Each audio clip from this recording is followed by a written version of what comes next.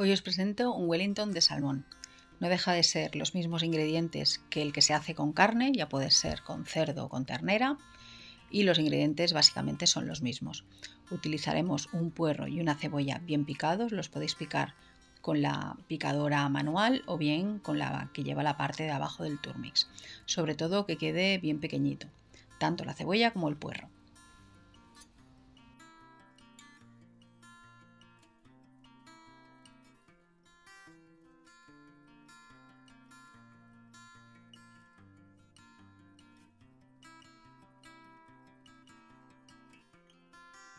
Una vez tengamos ya picado el puerro y la cebolla, aprovecharemos la picadora para picar los champiñones bien pequeñitos también. Empezaremos a precalentar una sartén en el fuego con un poco de aceite y pondremos a la vez el puerro y la cebolla. Sofreiremos un poco y añadiremos el champiñón, un poquito de sal y que empiece a soltar toda el agua, todo el líquido que tiene. Podremos poner también un poquito de pimienta o un poquito de hierbas provenzales si queréis. Sobre todo lo que nos interesa es que vaya soltando todo el líquido.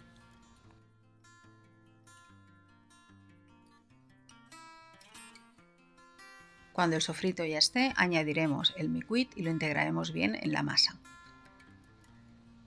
Cuando ya esté bien deshecho, lo pondremos en un colador para que pierda parte de la grasa que suelta el propio miquit. Ya veréis como al final queda bastante aceite en la parte de abajo. Ese aceite lo podremos utilizar después para pincelar el hojaldre. Lo ponemos en un plato, el relleno para que se vaya enfriando y aprovechamos la sartén para rehogar unos cuantos champiñones que nos servirán como acompañamiento.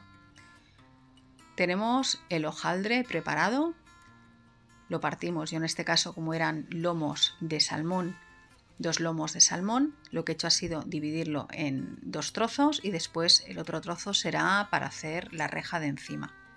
En la base pondremos unas capas muy finas de jamón serrano, la farsa por encima de champiñón con el miquit, pondremos el lomo y lo doblaremos como veis en la imagen. Sellaremos bien los laterales para que quede bien cerrado todo, bien encerrado dentro de la masa y haremos lo mismo con la otra parte pondremos.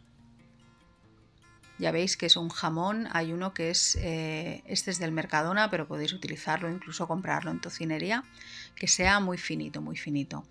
Yo el salmón eh, casi no lo he salado, porque después el, el jamón ya suelta parte de la sal para que no nos quede demasiado fuerte de sabor.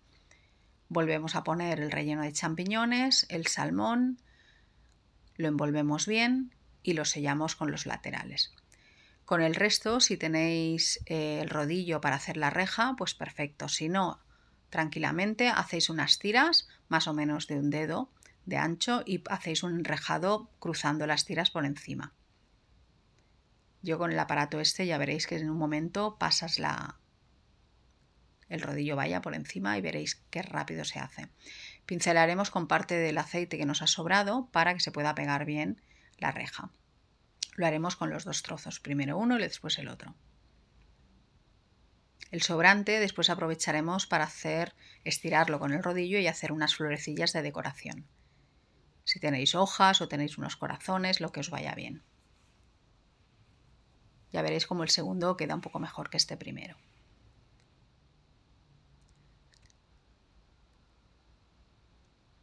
Lo abriremos con cuidado y lo iremos pegando al otro trozo.